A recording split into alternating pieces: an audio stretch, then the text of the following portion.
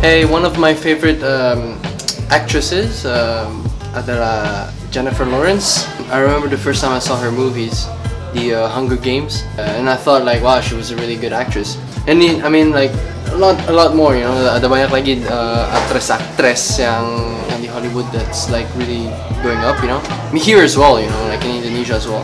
Tapi Jennifer Lawrence is one of those uh, actresses yang mulai terus langsung booming, you know, and then she just did like a lot of movies, and I'm really like quite um, interested in her career. So yeah, she's one of my favorite actresses.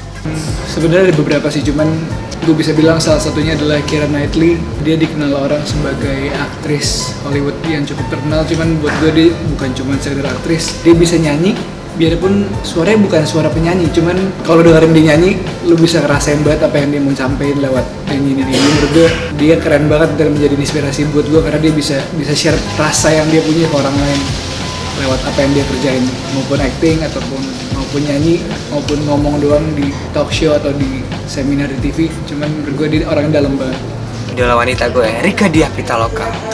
Funny, smart, politik, what else? Aku juga selalu beli bukunya dia sih, puisi, puisi puisinya. Ternyata itu dia. gue Ya. kayak beli aja dan gue baca ternyata itu dia yang main bajai bajuri ya.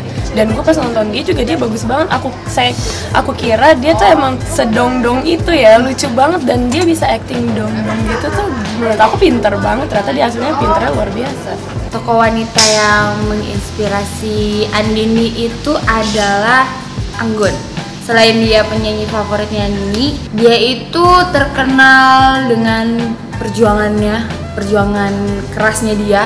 Gimana dia perjuangkan bakatnya sampai dia akhirnya dikenal sampai internasional, sampai dia punya album dua bahasa dan itu menurut aku keren banget. Sampai sekarang dia jadi inspirasi aku dalam bernyanyi pun juga.